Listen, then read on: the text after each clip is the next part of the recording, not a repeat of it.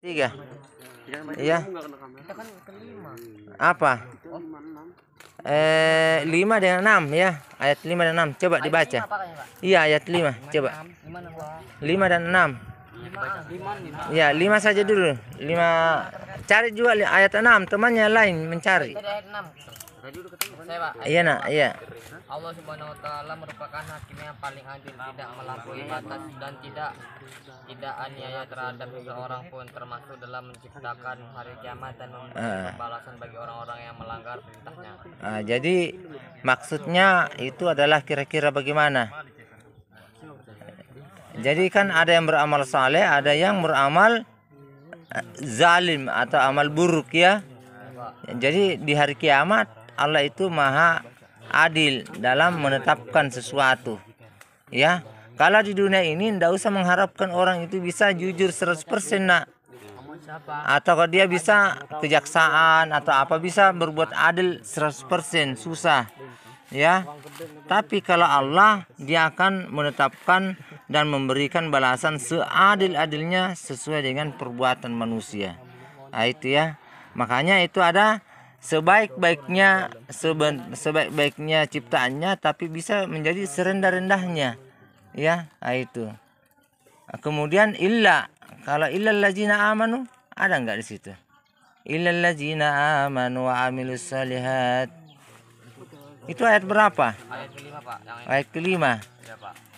Eh, kemudian ayat keenam. Kami masukkan manusia ke neraka kecuali orang-orang yang benar-benar beriman. Ah, dan mengerjakan kebijakan baik spiritual maupun sosial. Nah, secara dan sesuai syarat Islam maka mereka akan mendapatkan pahala yang tidak ada tidak ada putus-putusnya. tidak pula berkurang. Kami selamatkan mereka dari neraka.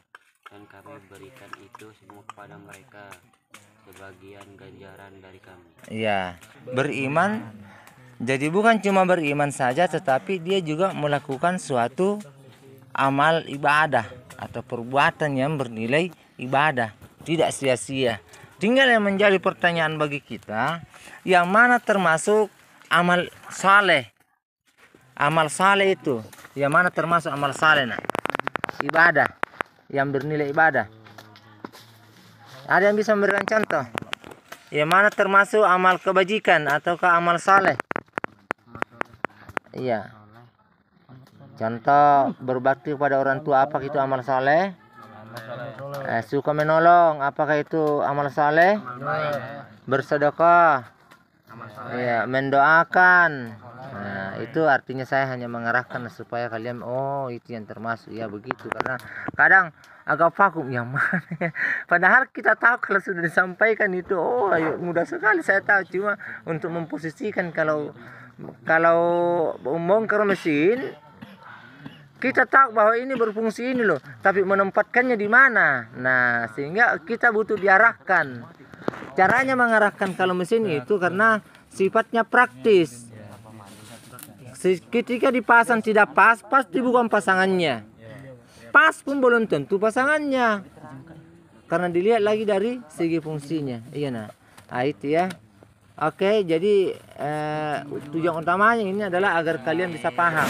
Oke, selanjutnya kelompok 4 ayat 6 dengan 7. Ayo, tunjukkan kerjasamanya. 7 sama 8 Pak. Iya, 7 dengan 8. Ayo nak, dibaca saja. Kalian kamu sudah temukan? Iya, maknanya saja. Makna ayat 7 Quran surat Tin.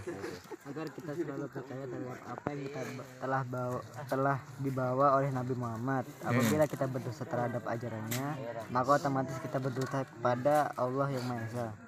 Jadi agar kita selalu dapat meyakini tentang ajaran yang dibawa oleh Nabiullah Muhammad Sallallahu Alaihi Wasallam. Kalau kita tidak percaya berarti kita apa tadi?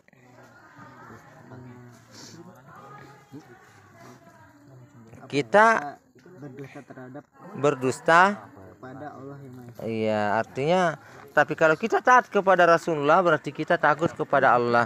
Kalau kita mendustainya maka berarti kita berdusta kepada Allah. Nah ayat 8 apa anunya? Iya.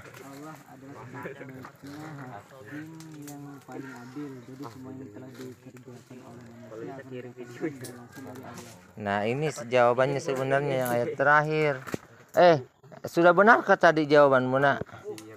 Yang 6 56 hampir sama ya? Ya sudah Pak. Iya. Oke. Sekarang tepuk tangan dulu semua. Iya. Iya. Kalau orang lain tidak mampu menghargai kita, paling tidak kita menghargai diri kita karena sudah berusaha. Bayangkan loh, dari tadi kamu duduk di sini, nak. Itu kamu har- harus hargai dirimu itu bahwa kamu berusaha untuk taat. Yang kedua, kamu menampakkan sudah melaksanakan tugas.